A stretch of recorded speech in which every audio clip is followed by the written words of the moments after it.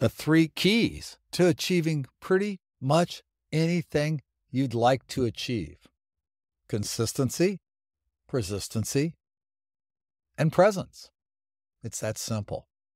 Want to get more flexible? Do resistance stretching every day. You want to get rid of anxiety? Tap. Better blood flow? Qigong. There are so many simple things that can create so much joy in your life, so much happiness in your life, so much strength, so much flexibility. But you know what? You got to do them. You have to be consistent and persistent. You have to do them every day. And when I say every day, I mean seven days a week. Let's face it, if you want to do better blood flow, so you've got this little Qigong flow that you do, or you come to a Qigong class or you use the Qigong online classes that are available, and you do a 10, 20 minute Qigong flow every day, you're going to improve your circulation. You're going to improve your blood flow. Not only that, you're going to have better energy, you're going to have more flexibility, you're going to have more strength. Same thing with flexibility and strength. Resistance stretching. It's the answer to both, but you have to do it every day. Anxiety, stress, tap.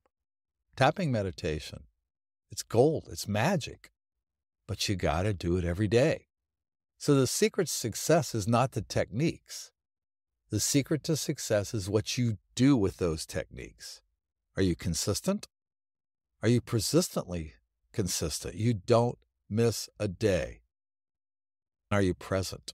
Are you paying attention to what you're doing? Are making sure you're noticing how your body's moving? You're following your breath.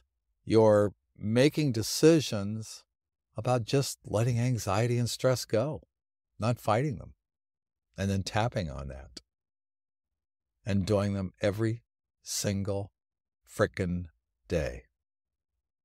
I know that sounds like a lot, but you know, in the big scope of things, to feel good, how amazing would it be to give up 30 minutes a day, maybe 20 minutes a day, maybe 10 minutes a day, with a practice that you're consistent, persistent, and present. That doesn't seem like too big of a price to me. How about you? I'll tell you what, once you discover it, you discover that it feels good to feel good. I've been saying that a lot lately because it does feel good to feel good. So consistent, persistent, and present. And whatever tool you use, watch the miracles happen. My hope for you is always that you may move well, stay healthy, be happy, and live every single day with purpose and passion.